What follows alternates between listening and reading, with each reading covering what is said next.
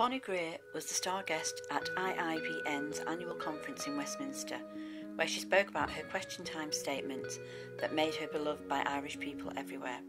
I, I, I, well, it's just, yeah, but it's just such a shock in a way because I thought, I, you know, when you're on that show, you're talking into talking to that audience, and it's a small audience, and it's a sort of a hall, and I just went back to my hotel after that and went got in, into Liverpool Lime Street, and all these people walked up to me in the train station. So it was quite a surprise. It's still a surprise. Still a surprise.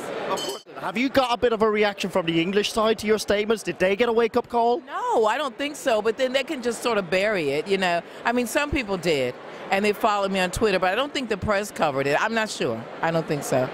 I think growing, being born and growing up in Chicago, which is a big Irish town, and being raised Roman Catholic, so my teachers were Irish American, of course.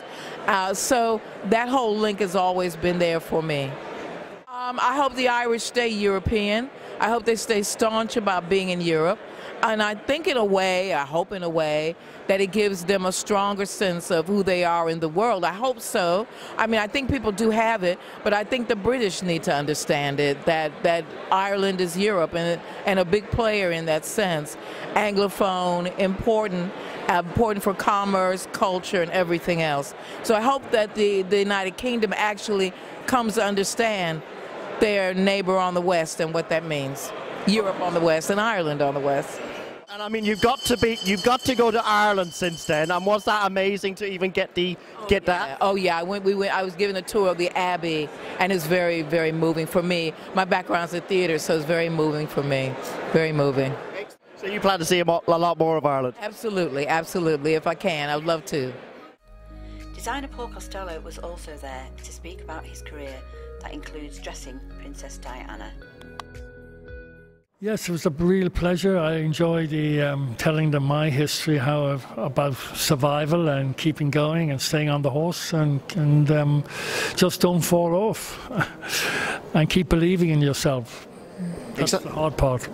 No, no, I think we're we're all very upfront. Um, you just tell it as it is, and don't pretend it's any greater than than what you had for breakfast, and um, just just uh, fashion industry is a very global industry and you know you can be found out very easily so you're much better off playing the low key side and um, and then have expectations but um, if they happen they happen I mean do you reflect on your achievements I mean Princess Diana say and what that did for you? Do you reflect on things like that? It, um, it uh, what what within the Princess Diana con- con- context context.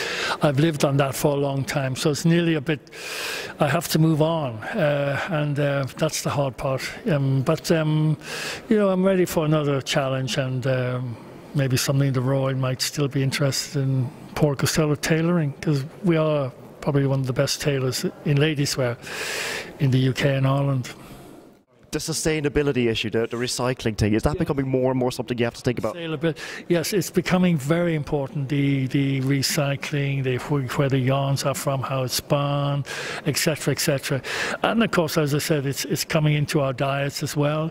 It's um, the, the, the, whole uh, fact of um, of um, toxic fibers, etc.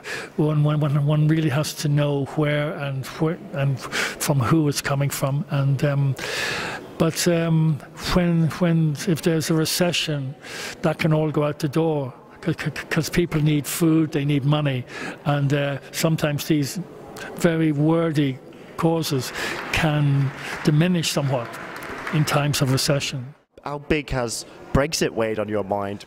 Personally, it, it hasn't bothered me. It has annoyed me more. I think it's a, just a disgraceful behaviour by all these politicians, whether it's Labour or Conservative or Liberal. But but then we talk recession, and I heard this morning that Germany is going to go into recession. You know, and who would ever expect Germany to go into recession? So uh, we we need to be prepared, not to be too confident, rather like the Irish rugby team you know. Uh, we we uh, like the English team, uh, and and go by our instincts. Um, it's a very exciting time, uh, but we must be prepared.